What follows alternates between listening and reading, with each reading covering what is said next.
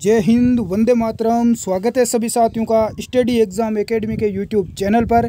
नए हो तो चैनल को सब्सक्राइब ज़रूर कर लें ताकि आपको पटवार पेपर का हल मिलता रहे। इसकी पीडीएफ फ़ाइल हमारे टेलीग्राम ग्रुप में मिल जाएगी, जिसका लिंक डिस्क्रिप्शन बॉक्स में दिया हुआ है, उसको आप ज्वाइन कर लें। तो हमने कंप्यूटर का पहले पेपर हल कर लिया कंप्यूटर के जितने प्रश्न पूछे गए अब हम करेंगे इंडिया और राजस्थान का जो जीके पूछा गया है। प्रश्न यहाँ पर आपके सामने है कि असम की जलवायु है। उष्ण कटिबंधीय मानसून, उष्ण कटिबंधीय शुष्क शुष्क मरुस्थल प्रकार की जलवायु या उष्ण कटिबंधीय सवाना इसका राइट आंसर क्या होगा?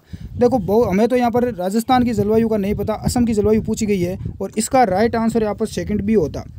उष्ण कटिबंधीय शुष्क जलवायु है। बी आपका यहाँ पर राइट आंसर होगा। वैसे अलग अलग मौसम के अनुसार यहाँ की जलवायु है, वो बदलती रहती है। नेक्स्ट अगला प्रश्न देखें।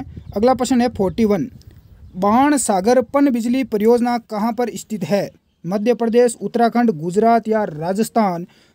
कल भी एक परियोजना से रिलेटेड प्रश्न पूछा गया था और आज और पूछा गया है। इसका राइट आंसर आपका एक नंबर हो जाएगा, मध्य प्रदेश में है। कहाँ पर है? मध्य प्रदेश में। बिल्कुल। नेक्स्ट अगला प्रश्न देखें। अगला प्रश्न है आपके सामने यहाँ पर कि भारत के किस क्षेत्र में सहयोग एवं नुब्रा घाटियाँ स्थित है? तो नुबरा घाटियाँ किस क्षेत्र में है? कांगड़ा क्षेत्र, लद्दाख क्षेत्र, चंबा क्षेत्र या इनमें से कोई नहीं। इसका राइट आंसर आपका भी हो जाएगा, लद्दाख क्षेत्र में है। कहाँ पर है? लद्दाख क्षेत्र में। नेक्स्ट अगला प्रश्न देखें। अगला प्रश्न पूछा गया कि अखिल भारतीय मुस्लिम लीग की स्थापना कब हुई? तो मुस्लिम लीग की स्थापना कब हुई? 1902, 1906, 1904, 1916 ये तो बिल्कुल बेसिक प्रश्न था लगभग सभी का राइट होगा। बी आपका राइट आंसर हो जाएगा 1906 में हुई थी। बिल्कुल जो विद्यार्थी करके हैं सभी का राइट अगला प्रश्न यहाँ पर पूछा गया कि देलवाड़ा मंदिर किस धर्म से संबंधित है? जैन धर्म हिंदू धर्म और जैन धर्म हिंदू धर्म या बौद्ध धर्म? तो दिलवाड़ा के जैन मंदिर है वो। जैन मंदिर वैसे भी आपको पता है, जैन धर्म से संबंधित है तो ए आपका यहाँ पर क्या हो जाता? राइट आंसर माना जाता। नेक्स्ट अगला प्रश्न है फिफ्टी नाइन निम्न में से कौन संविधान सभा की प्रारूप समिति के अध्यक्ष थे? राजेंद्र प्रसाद जैल नेहरू, भीमराव अंबेडकर जे बी कृपलानी।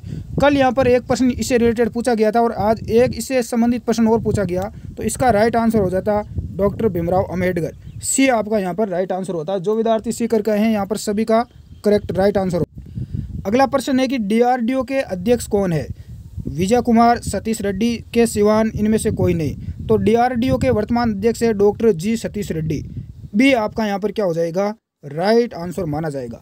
अभी तक क्लास को लाइक नहीं किया है तो लाइक ज़रूर करें। बिल्कुल। नेक्स्ट अगला प्रश्न देखें। अगला प्रश्न पूछा गया कि मरियपन थेंग वेलू और शरद कुमार, जिन्होंने टोक्यो पैरा ओलंपिक्स में पदक जीते हैं, किस खेल से संबंधित है?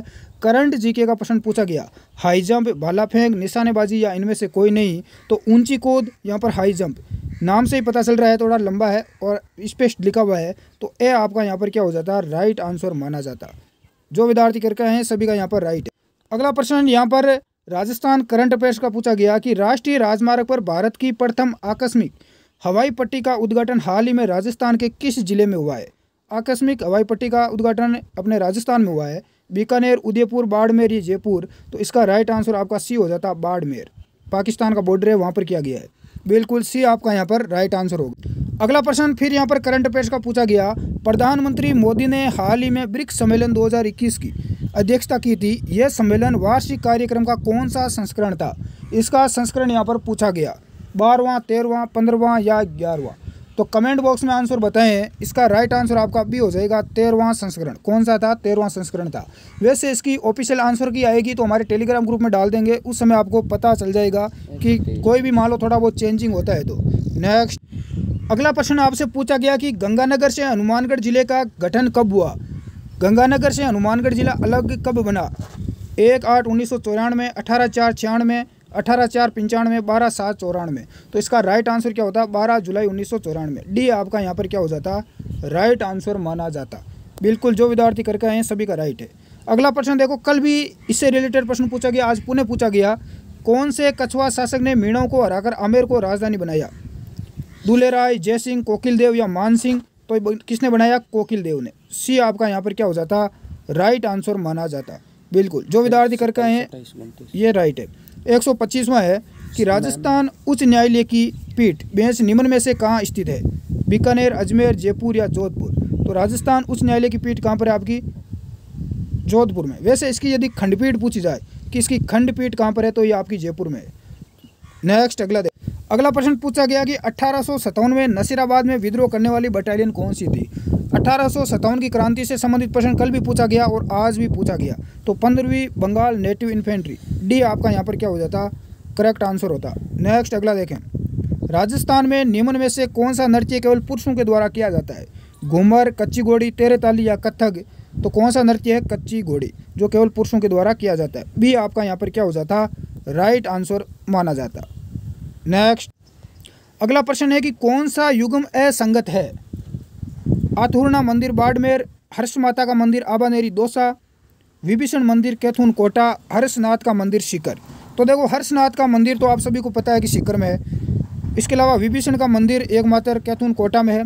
हर्ष माता का मंदिर आबानेरी दोसा में है। लेकिन अथुर्णा मंदिर ये कहाँ पर है? बांसवाड़ा में बाड़मेर में नहीं है। तो ए, आपका यहाँ पर क्या हो जाता? है राइट आंसर माना जाता। नेक्स्ट अगला प्रश्न है यहाँ पर निम्न को सुमेलित करना है। सूची एक और सूची दो, दोनों को सुमेलित करना है। एक नंबर दे रखा है, कुंभलगढ़ वन्य जीव अभ्यारण्य कहाँ पर है? राजसमंद में केवलादेव राष्ट्रीय उद्यान भरतपुर में यह प्रश्न कल भी पूछा गया था।